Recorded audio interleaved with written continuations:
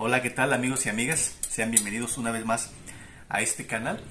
Y en esta ocasión quiero eh, presentarles algo de lo más tradicional de la comida mexicana.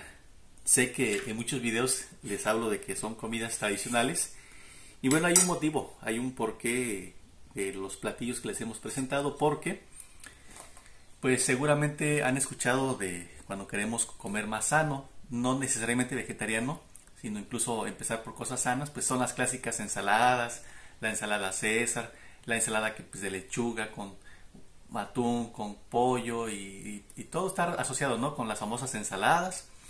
Y yo creo que mucha gente cuando quiere comer sano y pues se imagina ese tipo de comidas hechas a base de lechuga, de zanahoria, de repollo, pues creo que nos da miedo de comer más saludable y preferimos seguir comiendo lo de siempre, que no es muy sano.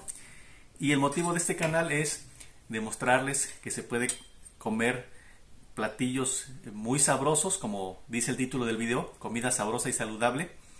Eh, nosotros también podemos comer ensaladas, por supuesto, solamente que no las hemos presentado, no las hemos hecho videos de eso, porque como ya les decía, pues creo que son platillos muy presentados, muy difundidos, así que considero que tal vez no lo descarto, en algún momento les voy a presentar tal vez alguna ensaladita a base de, lechugas y eso, pero pues dicho lo siguiente, ahora sí les voy a, presentar un verdadero platillo de lo más eh, tradicional de aquí, de la comida mexicana, que incluso en los estados de la República tienen diferentes versiones.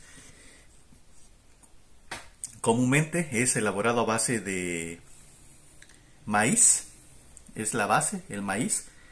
Se cubre con hojas de maíz también.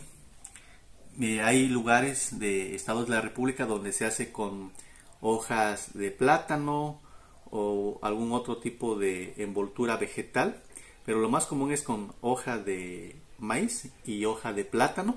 Se envuelve y bueno, tradicionalmente los tamales, el relleno es salsa roja, verde o algún otro tipo de color o chiles y pues generalmente pues es de carne, carne de pollo, carne de res, carne de cerdo. Recuerdo que a mí me gustaba cuando comía yo carne, recuerdo que mis tamales favoritos eran los tamales verdes, bueno, de salsa verde con carne de cerdo eran mis favoritos en particular. Pero ahora como ya no como carne, pues este, aquí vemos una muestra de que se puede comer lo mismo, solamente variando un poquito el relleno. En este caso, pues la base es la misma, es el maíz, la salsa verde. En este caso ahora tiene aceitunas y queso.